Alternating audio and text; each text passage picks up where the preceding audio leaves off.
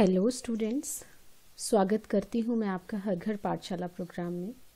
आज के लेक्चर में हम टेंथ क्लास के चैप्टर वन डिजिटल लिटरेसी के क्वेश्चन आंसर्स को डिस्कस करने जा रहे हैं। एक एक करके सभी क्वेश्चंस को मैं समझाती चली जाऊँगी और उसके आंसर्स आपको बताती चली जाऊँगी। तो आइए शुरू करते हैं। पहला प्रश्न है what do you mean by overhead projector lectures में, आपने प्रीवियस लेक्चर्स में ये पढ़ा है कि ओवरहेड प्रोजेक्टर क्या होता है? तो इसी कंसर्न में आपको ओवरहेड प्रोजेक्टर के, की डेफिनेशन को लिखना है। A projector is capable of projecting enlarged images of return और pictorial material on to a screen और wall An overhead projector is a very basic but reliable tool used to display images onto a screen or wall. It consists of a large box containing a cooling fan and an extremely bright light with a long arm extended above it. आप ये understand कर चुके हैं ये आपको यहाँ पे image दिख रही है ओवरहेड प्रोजेक्टर की ओवरहेड प्रोजेक्टर का यूज़ बच्चों बेसिकली टीचिंग्स के लिए भी एज टीचिंग एड हम इसको यूज़ कर सकते हैं और सेमिनार्स में कॉन्फ्रेंसेस में इसका यूज़ होता था पहले, अब तो क्योंकि और डिजिटल जो हमारे प्रोजेक्टर्स हैं वो काफ़ी अवेलेबल हैं, जिनमें कि आप लैपटॉप के साथ कनेक्ट करके डायरेक्टली अपनी प्रेजेंटेशन को दिखा सकते हो। लेकिन पहले यूज़ होते थे ओवरहेड प्रोजेक्टर्स जिसमें कि ट्रांसपेरेंट शीट्स जो थी उनका यूज़ होता था। उसके ऊपर आप लिख भी सकते थे या ऑलरेडी रिटर्न मटेरियल था, उसको आप यहाँ पे प्रोजेक्टर में शो कर सकते थे। रिफ्लेक्शन इसमें लाइट होती है लाइट से रिफ्लेक्शन होता है और सामने वॉल पे जो है वो उसकी इमेज बनती है बड़ी फॉर्म में, जैसे कि आप इमेजिन कर सकते हैं कि प्रोजेक्टर कैसे काम करता है। ठीक है तो इसके जो मेन पार्ट्स हैं, जैसा कि अगला क्वेश्चन है हमारा what are the main parts of an overhead projector तो इसमें आपको इसके मेन पार्ट्स लिखने हैं। लैम्प एंड रिफ्लेक्टर जो यहाँ पे लिखा गया है, वो इस बॉक्स के अंदर होते हैं। फोकसिंग नॉब हम इसको कहते हैं, ये जो ब्लैक वाली है, ये इसका बेस मिरर है। फ़ैन भी इस बॉक्स के अंदर लगा होता है। फ़ैन का काम होता है कूल रखना। अंदर जो है, जितने भी हमारे कंपोनेंट्स लगे हैं, वो हीट अप नहीं होने चाहिए। उनको कूल करने के लिए अंदर फ़ैन लगा होता है। और इसमें ये वाला जो ऊपर है, इसको हम कहते हैं अपर सेक्शन तो इस तरह से आप इसके मेन पार्ट्स को बता सकते हैं। अगला क्वेश्चन आता है how can you handle overhead projectors अब इन जो ओवरहेड प्रोजेक्टर्स हैं, इनको अच्छे से हैंडल करने की ज़रूरत होती है। ये हमारे जो बाकी फर्नीचर टाइप में नहीं होते हैं कि आप जैसे मर्ज़ी उनको हैंडल करो रफ एंड टफ वे में, क्योंकि लेंसेज लगे होते हैं मिरर्स लगे होते हैं, और डेलिकेट अंदर कंपोनेंट्स होते हैं तो हमें इनको बहुत ध्यान से रखना पड़ता है। तो हम क्या कर सकते हैं? Cover the transparency when you are done जो ऊपर फ्लैट्स जो स्क्रीन है, उसको कवर कर देना चाहिए जब भी आप मतलब इसको यूज़ नहीं कर रहे हैं। इसमें जो भी लेंसेज लगे हैं, बाहर की तरफ़ उनको भी ढक देना चाहिए। Bring spare bulb and a glove to change the bulb इसके अंदर बल्ब लगा होता है लाइट के लिए। तो जब भी आप उसको चेंज करेंगे तो आप उसको बेयर हैंड से ना करें तो उसको, उसके लिए आप ग्लव का इस्तेमाल कर सकते हैं। Place your overhead projector on a table so it does not block your uh, block you or the screen. देखिए सामने क्योंकि वॉल के ऊपर इमेज बननी है तो इसको प्रॉपरली आप टेबल के ऊपर रखिए और टेबल से फिर सामने जो है वो उसकी इमेज बन जाएगी। ताकि अगर आप सामने खड़े होंगे या फिर आप इसको टेबल पे या प्रॉपर उस पर नहीं रखेंगे तो स्क्रीन जो है वो ब्लॉक हो सकती है। Keep the cleanliness of the lens lenses के ऊपर धूल नहीं जमी होनी चाहिए, इसलिए बेटर वे है उसको ढक के रखें और उसको साफ़ करते रहें। अगला क्वेश्चन है हमारा डिफाइन डिजिटल स्क्रीन तो स्टूडेंट्स डिजिटल स्क्रीन आप सबने देखी है, जो कि हमारी कंप्यूटर मॉनिटर्स हैं, उसको हम डिजिटल स्क्रीन कहते हैं, या आपके एलईडी टीवीज हैं, या आपके घरों में जो टीवीज हैं, उनको आप टीवी सेट्स को भी आप डिजिटल स्क्रीन कह सकते हैं।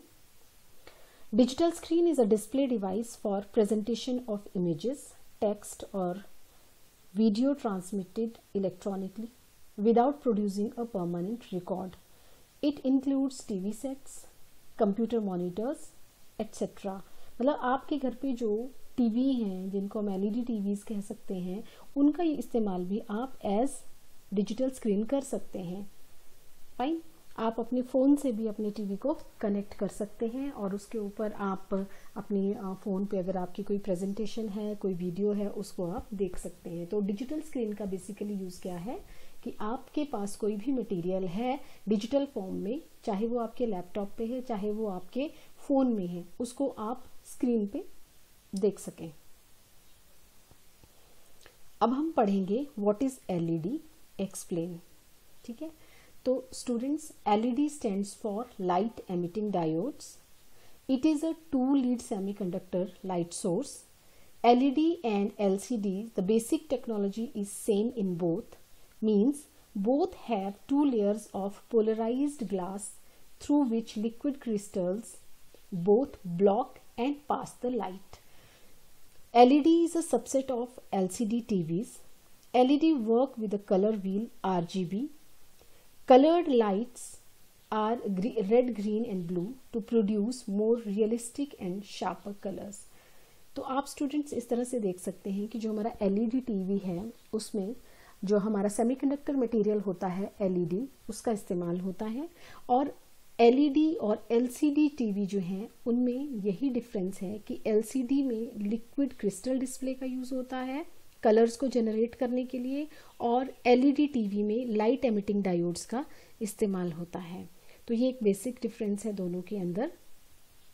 बाकी जो काम करने की टेक्नोलॉजी है, वो ऑलमोस्ट सेम है। और दोनों ही केसेस में आर कलर को जो आप कह सकते हो कलर्ड लाइट इनका इस्तेमाल होता है।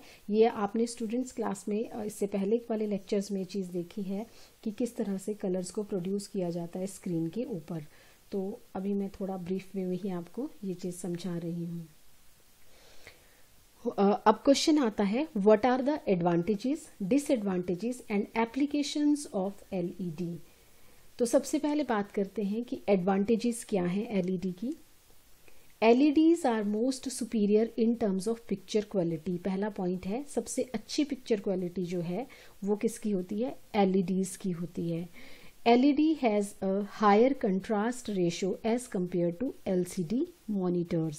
दोनों में ये डिफरेंस आ गया कि जो LED है, उसकी कंट्रास्ट रेशियो उसमें कलर्स जो है वो कलर का जो कंट्रास्ट है वो काफ़ी अच्छा दिखता है as compared to L C D monitors LEDs are more superior in terms of picture quality picture quality भी एलईडीज में ज़्यादा होती है। LED help save on energy as compared to LCD और सीआरटी आपने एल सी डी स्क्रीन्स भी देखी हैं और सी आर टी स्क्रीन्स भी देखी हैं। तो दोनों के कंपैरिजन में जो एल ई डी है, वो उसमें पावर कंजप्शन कम होती है, कम बिजली खर्च होती है। L E D can be mounted on the wall और द पैनल ठीक है? एल ई डी को दीवार पे भी लगाया जा सकता है, जैसा कि आप लोगों ने देखा ही है। लेकिन डिसएडवांटेजेस क्या हैं? एलईडीज जो हैं, वो कॉस्टली होते हैं एक्सपेंसिव होते हैं as compare to L C D low reliability and speed is low कहाँ कहाँ यूज़ कर सकते हैं हम एलईडीज़ को? आपने देखा होगा जो डिजिटल स्क्रीन के लिए हम इसको बेसिकली यूज़ करते हैं एलईडीज़ को। और कहाँ यूज़ कर सकते हैं? एलईडीज़ का जो इस्तेमाल है, खासकर जो हम इसके अंदर का कंपोनेंट है एलईडी लाइट एमिटिंग डायोड इसके बल्ब्स भी होते हैं, घरों में और इंडस्ट्रीज़ में यूज़ किए जाते हैं। एल एलईडीज़ का यूज़ मोटरसाइकिल्स और कार्स में भी होता है डिस्प्लेस के लिए। और at the traffic light signal LEDs are used तो आप देखते हैं कि सिग्नल के लिए भी जो वहाँ पे लाइट बल्ब जो जलते हैं आ, ग्रीन है येलो लाइट है वो वो उसके लिए भी एलईडी का इस्तेमाल होता है। बस बाकी मेनली टीवी और मॉनिटर स्क्रीन्स में तो इसका इस्तेमाल होता ही है। नेक्स्ट क्वेश्चन है आपका what is LCD what are the applications advantages and disadvantages of LCD students जैसे आपको पता ही है कि जो हम डिजिटल स्क्रीन के भी बात कर रहे हैं तो हमारी जो ये डिजिटल स्क्रीन्स हैं, सबसे पहले हमारे पास थी सीआरटी वो डिजिटल स्क्रीन नहीं थी। सीआरटी कैथोड रे ट्यूब उसके बाद आपके पास आए प्लाज्मा टीवीज उसके बाद फिर आपके पास आए एलसीडीज और एलसीडी के बाद आए एलईडीज एलईडी के बाद भी ओ एलईडीज हैं और उसके बाद क्वांटम डॉट टीवीज हैं तो बहुत सारी एक रेंज है है ना? तो स्टूडेंट्स हम देखते हैं कि जो सीआरटी है, उसका साइज़ काफ़ी बड़ा होता था, बल्कि होता था, है ना? और जब उसके बाद जो प्लाज्मा टीवी आए, अभी हम प्लाज्मा वाला क्वेश्चन भी आके देखेंगे। थोड़ा सा मैं आपको ब्रीफ कर रही हूँ। जो प्लाज्मा टीवी आए तो प्लाज्मा में क्या था कि जो फ्लैट स्क्रीन थी, सबसे बड़ी बात, क्योंकि CRT में जब हम उसका मॉनिटर की स्क्रीन देखते हैं तो वो फ्लैट नहीं थी कर्व्ड थी वो स्क्रीन तो उससे उसकी कुछ डिसएडवांटेजेस थी। लेकिन प्लाज्मा टीवी फ्लैट थे लेकिन उसमें भी कुछ प्रॉब्लम हुई तो और एडवांसमेंट हुई टेक्नोलॉजी में तो एलसीडी आया। एलसीडी के बाद फिर और पिक्चर क्वालिटी पे काम किया गया तो एलईडीज़ आए, ठीक है? उस तरह से एलईडीज़ के बाद ओ एलईडीज़ आए और ओ के बाद क्वांटम डॉट टीवीज़ आए। तो इस तरह से जो है वो नई नई चीज़ों का जो है वो मार्केट में टेक्नोलॉजी के साथ वो नई नई तरह के मॉनिटर्स हम आज की डेट में देख पाते हैं। तो एलसीडी की अगर हम बात करें तो एलसीडी को बोलते हैं लिक्विड क्रिस्टल डिस्प्ले ये फ्लैट होती है थिन डिस्प्ले डिवाइस होता है एज कंपेयर टू सीआरटी तो देखो सी जब हम एलसीडी की बात करेंगे तो इसको हम सीआरटी और प्लाज्मा टीवी से कंपेयर कर सकते हैं, क्योंकि इन दोनों के बाद ही एलसीडी हमारे पास आया था। इसकी एप्लीकेशंस क्या है? कहाँ कहाँ एल को यूज़ किया जा सकता है? Liquid crystal technology has major applications in the field of science and engineering as well as on electronic devices तो साइंस और इंजीनियरिंग जहाँ पे रिसर्च वर्क हो रहा हो, वहाँ पे भी हम इसका इस्तेमाल कर सकते हैं। लिक्विड क्रिस्टल थर्मोमीटर्स भी होते हैं। ऑप्टिकल इमेजिंग में इसका यूज़ होता है, जो कि मेडिकल साइंस की एक एप्लीकेशन आप उसको कह सकते हो। जैसे आपके शरीर के किसी ऑर्गेन की, मान लीजिए कि किसी ऑर्गेन की स्टडी करनी है और उसकी माइन्यूट डिटेल्स पता करनी है डॉक्टर्स को तो वहाँ पे ऑप्टिकल इमेजिंग में इसको यूज़ किया जाता है। जैसे कि आपकी ऑप्टिकल माइक्रोस्कोपी है या एंडोस्कोपी है, इस तरह की चीज़ों के लिए। तो ये इसके एप्लीकेशन है कहाँ कहाँ यूज़ होता है एडवांटेजेस क्या हैं? तो एडवांटेजेस में हम इसको कंपेयर करेंगे विद सीआरटी एंड प्लाज्मा तो compact and light weight it can be mounted on the wall और the panel it is cost effective consume less energy and are more durable ठीक है? लेकिन एलईडी जो है वो एलसीडी से भी कम पावर को कंज्यूम करता है। तो एलसीडी का कंपैरिजन किसके कंपेयर कंपैरिजन में करेंगे हम पहले? सीआरटी और प्लाज्मा इसके डिसएडवांटेज क्या है? It requires additional light sources क्योंकि देखिए एलसीडी स्क्रीन के ऊपर जब आपको आरजीबी कलर्स को वो करना है बैक एंड पे एक लाइट चाहिए फ्लोरोसेंट लाइट जिसको कहते हैं तो एडिशनल लाइट सोर्स वहाँ पे चाहिए। Prices are more expensive compare to plasma TV response time is longer backlight dims as the LCD ages जैसे जैसे एलसीडी पुराना होता चला जाएगा तो बैक बैक बैक से जो फ्लोरोसेंट लाइट आती है, वो डिम होती चली जाती है तो पिक्चर क्वालिटी इतनी अच्छी नहीं रहेगी। तो ये था एलसीडी स्क्रीन्स के बारे में।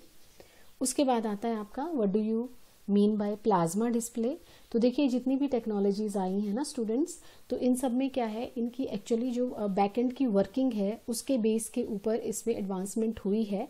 जैसे मैंने यहाँ पे दो टीवी दिखाए हैं आपको, ये है सीआरटी ये इस तरह के टीवी पहले होते थे घरों में तो इसकी जो स्क्रीन होती है, ये कर्व्ड होती है थोड़ी। इसके बैक एंड पे कैथोड रे ट्यूब लगी होती है, जो कि खुद में एक भारी आइटम होती है तो उसकी वजह से टीवी का साइज़ भी बड़ा होता है। इस टीवी को हम दीवार पे भी नहीं लगा सकते हैं।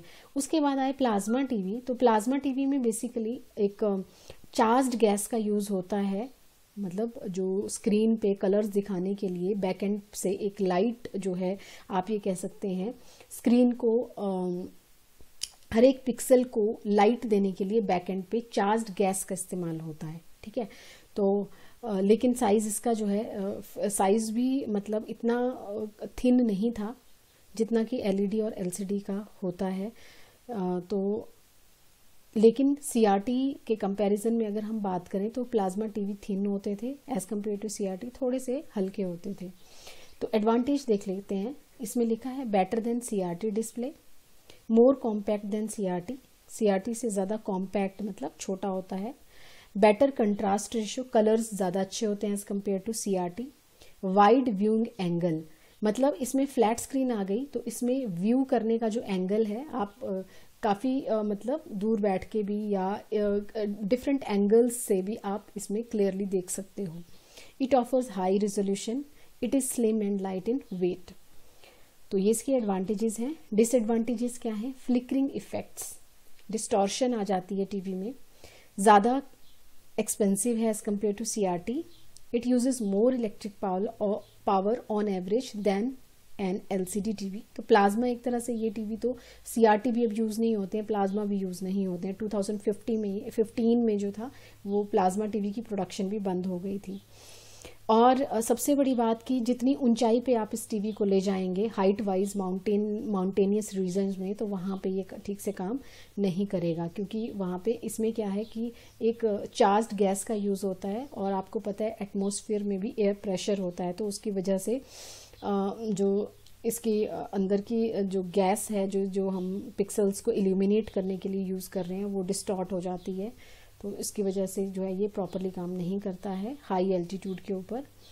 और उनका जो, इन टीवीज़ की जो लाइफ है, वो भी कम होती है मतलब जल्दी ये ख़राब होने वाले होते हैं। तो एक क्वेश्चन आता है what is the difference between L C D and C R T तो इस तरह से आप L C D C R T L C D L E D और एल सी डी प्लाज्मा को भी आपस में कंपेयर कर सकते हैं। किसी पे भी क्वेश्चन आता है तो अगर आपके पास बेसिक डिटेल्स हैं सभी की, आपको ये पता है कि एलसीडी कैसा होता है एलईडी कैसा होता है सीआरटी कैसा होता है और प्लाज्मा टीवी कैसा होता है तो आपस में आप किसी को भी कंपेयर कर सकते हैं। तो एक क्वेश्चन मैंने इसमें डाला है एलसीडी और सीआरटी का।